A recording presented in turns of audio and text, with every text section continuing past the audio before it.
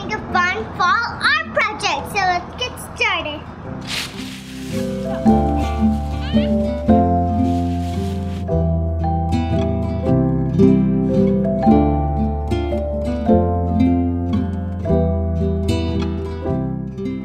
You will need some fall colored tissue paper,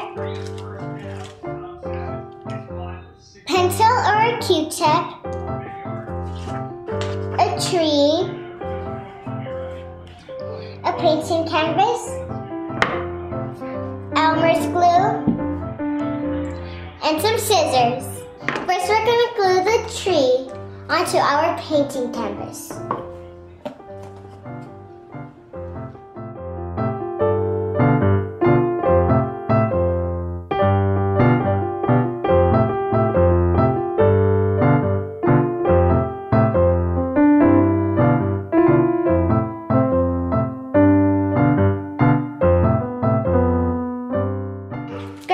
Tissue paper and cut them into squares.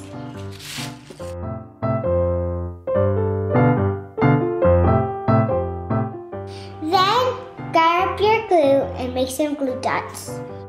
Then grab your Q-tip and wrap your tissue paper onto your Q-tip. Next, put, put it on your glue dot.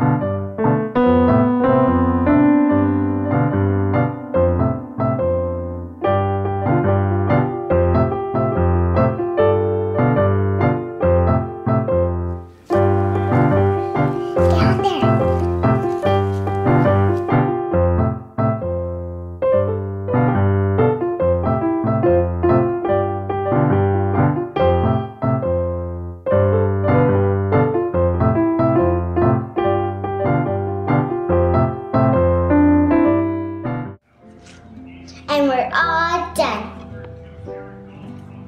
This is the way it should look like. Thanks for watching. If you like my video, give me a thumbs up. Make sure to subscribe to my channel. I love you guys. Bye.